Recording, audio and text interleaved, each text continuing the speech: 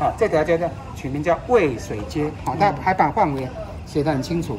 哇，好，那以前这里叫建成町，所以建成炎黄有没有听过？建成国中，哇，建成炎黄，哇，这个建成町啊，台湾咱企日新町有无？哦，哇，咱咱新闻遐度日新町，哦，日新町啊，这太平町，个过去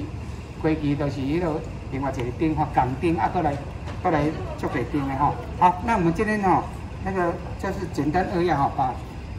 蒋会者曾经走过的哈，去推广办很多的讲座了哈。那今天因为时间关系，没办法说一一全部讲的很详细。我们下次还有机会哈，还有另外另外一些以以后那个集会地点要要在那个什么大桥头那边集合，要讲十联洞了，还有那